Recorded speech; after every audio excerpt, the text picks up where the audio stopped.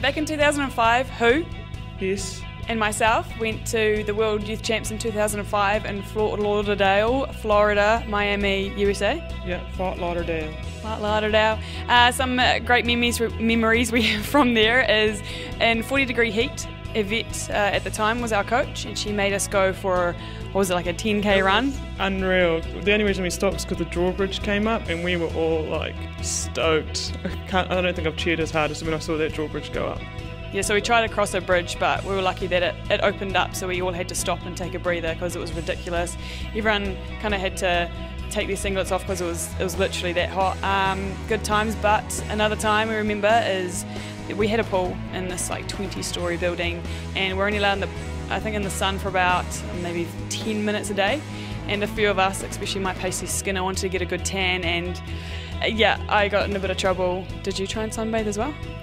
No, I was already really brown because I'm Māori and we're naturally brown.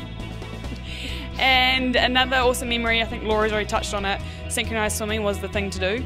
And I don't want to brag, but who and I were better than Laura.